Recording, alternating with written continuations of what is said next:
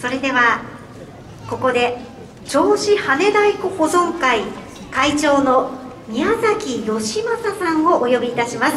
宮崎さんこちらへお願いいたします。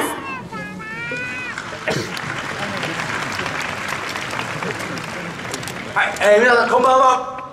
こんばんは羽太鼓の宮崎でございます。よろしくお願いを申し上げます、はい、宮崎さんぜひ今回の演奏の見どころを伺いたいんですが。そうですね。あのうん。のっけは今まではねあの20年くらい前まではここに立たせていただいたんですけども、20年ぶりにこの場所に立たせていただきました。そしてことはですねあの、うん、去年ですか新山式がありまして、ね、あのそれにあの1080年の歴史の中で初めて太鼓で新山式を行うということでご褒美にこの今日はあのここで歌わせていただくということでございます。はい。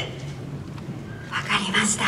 今日は歌と踊りの共演もあるということですが普段から歌と踊り共演されてるんですか？まずあんまり音歌と太鼓があのメインなもんですからね。歌だとか踊りっていうのはあんまりやらないんですけども今回はあの昔からのもうあの友達でもあります。ねあの岩佐光子さんこれはあの船橋を中心に一生懸命あの民謡の活動をしているプロのあのかあの歌手なんですけどもそれとですねあの立山の里見家あのそれの何代目かになるんでしょうけど末裔になります世が世であればおしめ様なんですけどもね。そ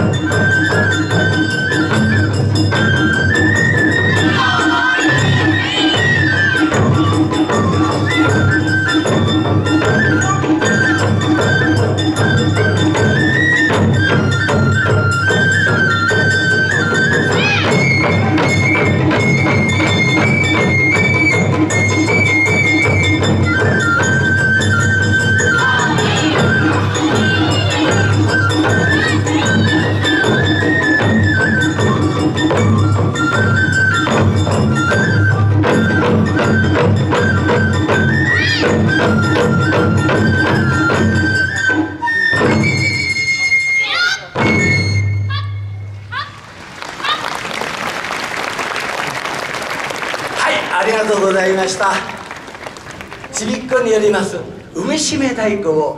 見ていただきました。この海しめ太鼓はですね竜宮城乙姫様伝説の白いんでございます。乙姫様を、えー、私ども親しみを込めまして海姫様と呼んでおります。それをイメージしました。銚子海しめ太鼓でございます。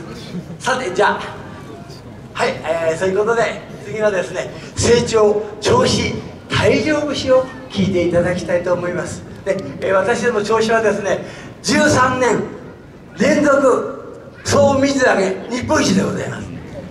あありがとうございます。よく市長に言っておきます。ということでぜひあのえあの成長調子大量節を岩佐さんに歌っていただきたいと思います。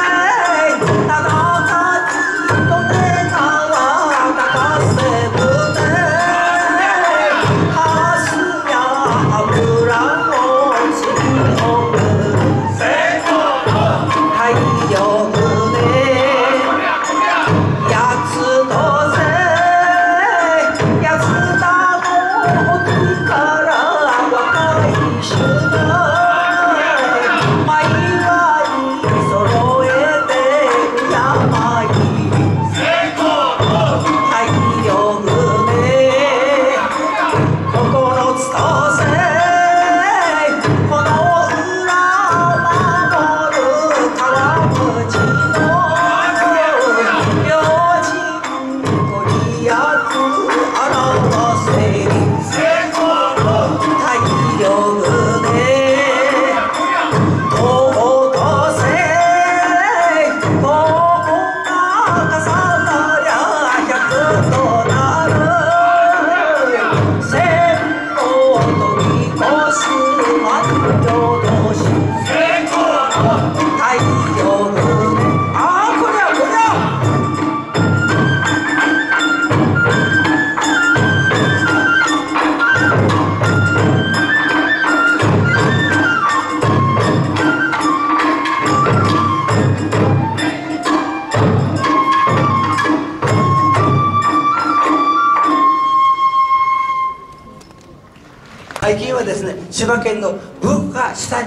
あの登録をさせていただいております、ね、ぜひあのこの珍しい最近はあの太鼓の格闘技まで言われておりますのでその格闘技などはどんなものか見てやっていただきたいと思います。それでは調子跳ねないといきましょう。